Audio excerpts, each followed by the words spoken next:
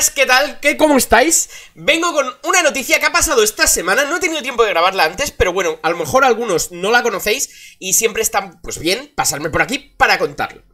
¿Cuál es esta noticia? Vale, eh, como sabréis, eh, hace un tiempo, ¿vale? Brandon Sanderson habló eh, hace, como habéis visto el título de que va, mm, creo que no hace falta mucha más presentación. Brandon Sanderson parece ser que ha tenido conversaciones con Bandai Namco, From Software, para producir o guionizar o participar o colaborar en el siguiente juego de la saga Souls.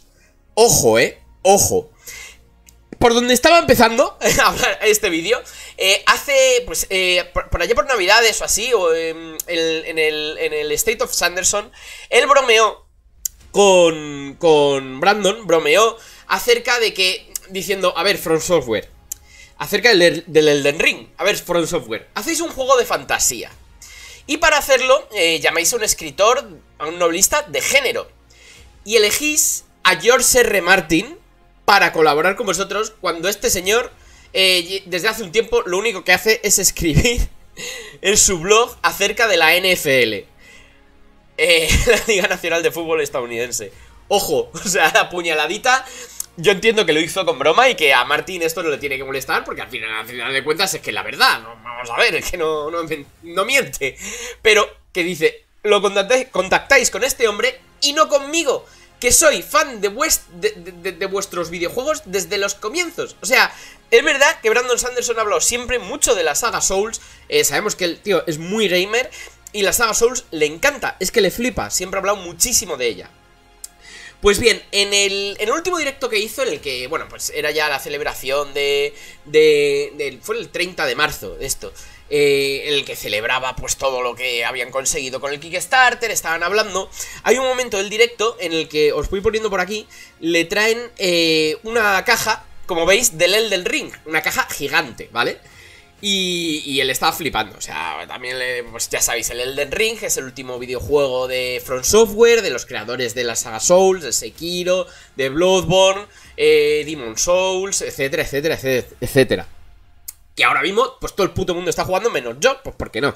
Eh, he decir que este tipo de juegos, pues a mí no me, no me terminan de convencer, no los he probado porque soy muy manco y creo que tendría que dedicarle muchísimo tiempo para aprender las mecánicas. Y yo creo que yo me terminaré desesperando, aunque todo lo que es el lore, que es, es verdad que es muy de trasfondo, que los juegos es más por mecánicas, por tal, y el lore está oculto o en trasfondo, a mí sí me interesa mucho, me, interesaría. Con lo cual no descarto jugar a alguno de estos juegos. Y joder, el Elden Ring tiene muy buena pinta. Bueno, pues como vemos, le traen una carta en la que, bueno, él no, no comenta más o menos lo que, lo que tiene esa carta. Pero él sigue comentando, él sigue hablando. Mientras va viendo, va, abriendo el paquete, que ahora iremos viendo qué es lo que tiene esta caja, porque está muy guay. O sea, yo no he jugado al Elden Ring y quiero esa caja porque es la leche. Eh, comenta que Bandai Namco se ha puesto en contacto con él para, para su próximo juego. Eh, han sido ellos los que han contactado con él.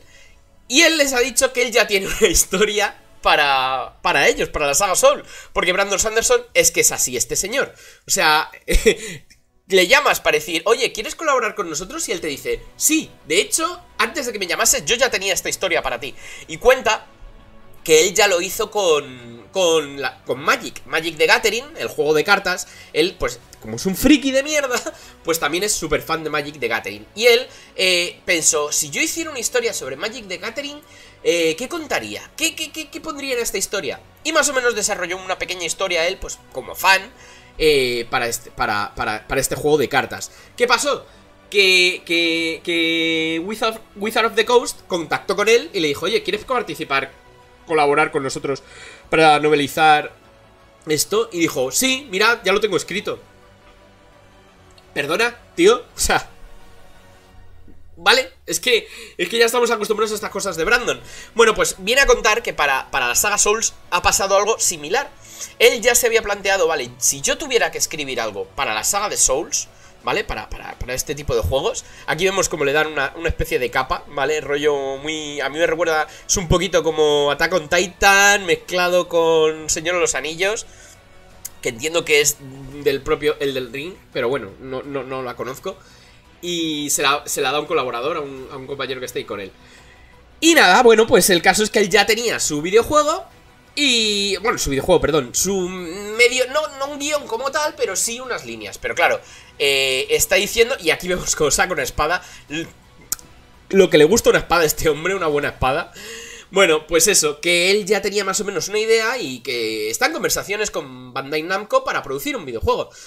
Entiendo, entiendo que eh, recordemos que también dijo que iba a participar con una compañía de videojuegos, pero que no es la que tú estás pensando. Y todos pensábamos precisamente en Souls.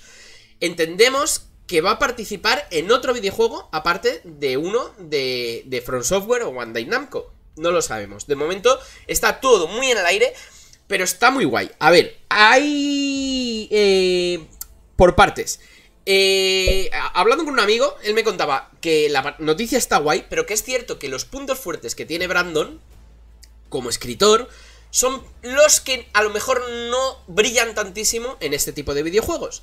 Puesto que Brandon, eh, pues sí, tiene un world building muy, muy interesante, personajes y eh, sistemas de magia, y eso va muy supeditado en la saga Souls a la propia saga. Entonces, eh, a no ser que crease un mundo único y, a él le permitiesen ejercer el world building, no sé cómo funcionaría su colaboración dentro del propio videojuego. Mm, habría que verlo. Lo cierto es, lo cierto es, eh, ¿Hasta qué punto George R. Martin ha participado en el guion del Elden Ring? Es algo que no ha quedado del todo claro. Y podría haber sido simplemente mm, meramente testimonial. Eh, bueno, pues habría que ver hasta qué punto dejarían que, él se, se, metiese o no en el guion. Lo que sí que es cierto, mi reflexión, eh, que esto no es, no es, más que buenas noticias, porque nuevamente estamos poniendo el nombre de Brandon Sanderson sobre la mesa y haciéndolo un poquito más mainstream. Lo cual a mí yo siempre he defendido, ¿vale? Hay mucha gente que dice, no, es que el momento que esto se vuelva mainstream, ya no es mi saga, ya no es mi escritor, esto ya se ha vendido. No, tío, este, este, este señor que tenéis aquí con gafas se ha sacado 43 millones de, dólares haciendo un Kickstarter por su cuenta y sacando cuatro novelas secretas. O sea, no le hace falta el dinero, no se va a vender por dinero. Este tío lo que tiene ganas es de trabajar en cosas que le gustan. Y este videojuego, esta saga de videojuegos, le gusta muchísimo. Así que encima va a disfrutar haciéndolo. Y si dándole más a conocer, haciéndolo más mainstream, vamos a conseguir que él pueda tener incluso más renombre y por lo tanto más poder creativo sobre futuras posibles adaptaciones de sus novelas. ¿De acuerdo? O sea, quiero decir, si el nombre de Brandon Sanderson es desconocido y quieren adaptar una novela suya, no le van a dejar participar demasiado en estas. Pero creo que ahora sí, que, que, que, que... Aparte que él ya como digo, no se va a dejar vender por dinero y no va a hacer cualquier cosa por dinero, sencillamente pues porque no le, no, le hace falta, no le hace ninguna falta. Con lo cual, eh, estamos ante la buena noticia de que, puesto que no le hace falta ese dinero, eh, ni, y, parece ser que cada vez va siendo un personaje más conocido, mucho más allá del propio eh, mundo friki lector, pues oye, cualquier tipo de adaptación, como ya he dicho, que vaya a tener, eh, va a ser... Yo quiero entender que va a tener mucha más libertad creativa, o que por lo menos él va a tener más voz que si fuera un autor desconocido y que le han pagado un dinero para adaptar su obra, pero la vamos a adaptar como nosotros queramos. Bueno, no lo sé. Eh, he de decir que yo, mm, como ya sabéis, por este hombre pongo la mano en el fuego y en el caso de que vaya a haber una adaptación de sus novelas, no, no me cabe ninguna duda que él va a tener la última palabra y que él va a ser bastante, mm, bastante, bastante eh, crítico con lo que se puede hacer o no se puede hacer. Así que no creo que, que, que, vaya a haber problema con eso, que, no, que no, no, va a ser un alamur de la vida, que va a estar a disgusto con cualquier adaptación que se haga, puesto que él va, va a estar muy dentro. Pero bueno, me estoy yendo por las ramas simplemente para contar la noticia esa, que eh, parece ser que Bandai Namco From Software ya está en, contacto con este hombre para el próximo videojuego de la saga. La franquicia. Pues es una noticia cojonuda. A que al final voy a tener que empezar a jugar a los Souls. A que al final. Es que, es que, es que. Si, Brandon Sanderson hace un videojuego o participa en un videojuego, yo no tengo eh, no calidad moral para no jugarlo. Así que, bueno, pues esperemos que esté guay, ¿no? En fin, que muchísimas gracias por haber visto este vídeo, contadme qué os parece esta noticia, yo creo que es una buena noticia, de momento cogida con pinzas, y eh, bueno, pues como decimos siempre, si lo comenta es que ya está más hablado de lo que parece, así que no es un simple rumor, lo ha confirmado él mismo.